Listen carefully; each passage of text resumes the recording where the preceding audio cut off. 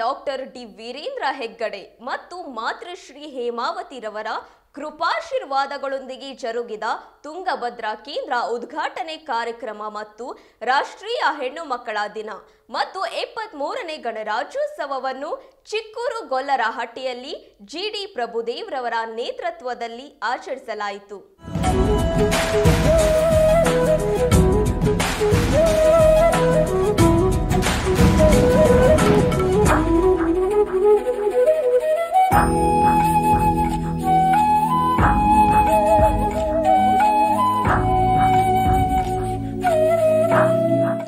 ಕಾರ್ಯಕ್ರಮದ ಅಧ್ಯಕ್ಷತೆ ವಹಿಸಿಕೊಂಡಿದ್ದ ಜಿಡಿ ಪ್ರಭುದೇವ್ರವರು ಮಾತನಾಡಿ, ನಮ್ಮ ದೇಶದಲ್ಲಿ ಬಹಳಷ್ಟು ಮಹಿಳೆಯರು ಮುಂಚೂಣಿಯಲ್ಲಿದ್ದಾರೆ.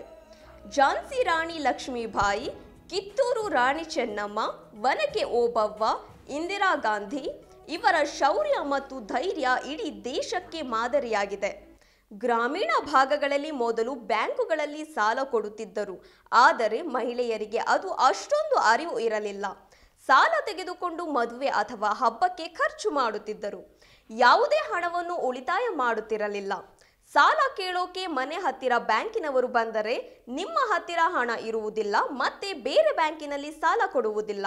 ಗ್ರಾಮೀಣ ಪ್ರದೇಶಗಳಲ್ಲಿ ಮಹಿಳೆಯರಿಗೆ ಮತ್ತು ಪುರುಷರಿಗೆ ಅವರ ಪರಿಸ್ಥಿತಿಯನ್ನು ಮನಗಂಡು ಗ್ರಾಮೀಣ ಪ್ರದೇಶದ ಮಹಿಳೆಯರಿಗೆ ಯಾವುದಾದರೂ ಒಂದು ರೀತಿಯಲ್ಲಿ ಬಡ ಜನರಿಗೆ ಕೈಗೆಟುಕುವ ರೀತಿಯಲ್ಲಿ ಯೋಜನೆಗಳನ್ನು ಕೊಡುತ್ತಿದ್ದಾರೆ.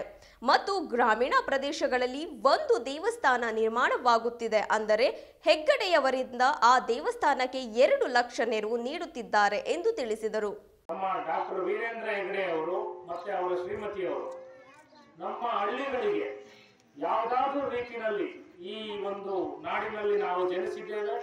ನಮ್ಮದೇ ಆದ ಒಂದು ಕೀರ್ತಿಯನ್ನು ನಾವು ಗಳಿಸಿದ್ದೇವೆ. ಆದ್ರೆ ನಮಗೆ ಅನುಕೂಲ ಆಗ್ತಕ್ಕಂಥ ಎಲ್ಲ ಹಳ್ಳಿಯ ಜನಗಳು ಕೂಡ ಅಭಿವೃದ್ಧಿಯನ್ನು ಕಾಣಬೇಕು ಅಂತೇಳಿ ಅವರ ಮನಸ್ಸಿನಲ್ಲಿ ಪಣವನ್ನ ತೊಟ್ಟು ಎಲ್ಲ ಹಳ್ಳಿ ಹಳ್ಳಿಗಳಿಗೂ ಕೂಡ ಒಂದೊಂದು ಸಂಘವನ್ನ, ಮಹಿಳಾ ಸಂಘವನ್ನ ಮತ್ತೆ ಪುರುಷರ ಸಂಘವನ್ನ ಪ್ರಾರಂಭ ಮಾಡಲಿಕ್ಕೆ ಪ್ರಾರಂಭ ಮಾಡಿದ್ರು.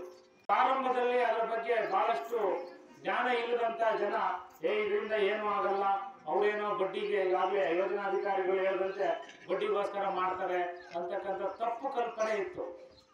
ನೀವೇ ಆ ಹಣದಲ್ಲಿ ಉಳಿಸಿ, ನೀವೇ ವಾರದಲ್ಲಿ ಸಭೆಯನ್ನ ಮಾಡಿ, ಆ ನಿಮ್ಮ ತಗೊಂಡಿರ್ತಕ್ಕಂಥ ಸಾಲಕ್ಕೆ ಯಾವ ರೀತಿ ಮರುಪಾವತಿ ಮಾಡಬೇಕು ಅನ್ನೋ ಜ್ಞಾನನ ನಿಮ್ಮಲ್ಲಿ ಮೂಡಿಸಿದ್ದೆ ವೀರೇಂದ್ರ ಹೆಗಡೆ ಯಾರೇ ಆಗಿರ್ಲಿ ನಾವು ಒಂದು ವ್ಯವಹಾರ ಜ್ಞಾನವನ್ನ ಕಲ್ತ್ಕೋಬೇಕು.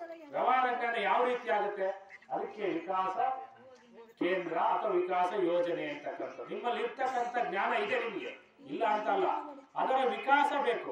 ವಿಕಾಸ ಅಂತಂದ್ರೆ, ಈಗ ನಮ್ಮ ನನಗೇನೋ ಗೊತ್ತಿರುತ್ತೆ, ಅದನ್ನು ನಿಮಗೆ ಹೇಳ್ತೀವಿ. ನಿಮಗೇನೋ ಗೊತ್ತಿರುತ್ತೆ, ಅದನ್ನು ನನಗೆ ಹೇಳ್ತೀವಿ. ಇದು ಚರ್ಚೆ ಮತ್ತೆ ವಿನಿಮಯ ಆಗಬೇಕು ಅಂತಕ್ಕಂಥದ್ದೇ ಅವರ ಉದ್ದೇಶ.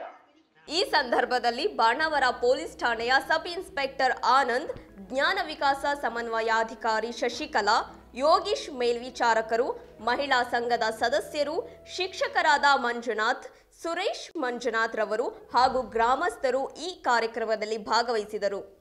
Umesh TV twelve Kannada, Arasikere. TV twelve Kannada, ಇದು ಕನ್ನಡಿಗರ ಧ್ವನಿ.